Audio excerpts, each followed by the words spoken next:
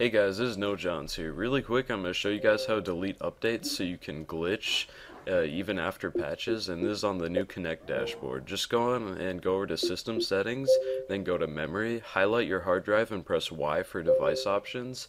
What you're going to want to do is go down and clear the cache. That's just going to delete all the updates for your game so it can go back to like release status. It's not going to delete any of your saves or anything like that, but it's going to let you do like infinite money glitches, infinite XP, just random stuff that's been patched already. It's really helpful for getting achievements and all sorts of random stuff. When you go back online, you should have most of it.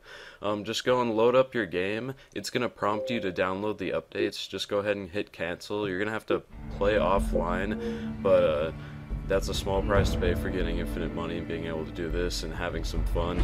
Um, yeah, so just go ahead, load up your game, and you should be good. If you haven't already, be sure to rate, comment, and subscribe. I'll see you guys later. I should be uploading some more vids soon.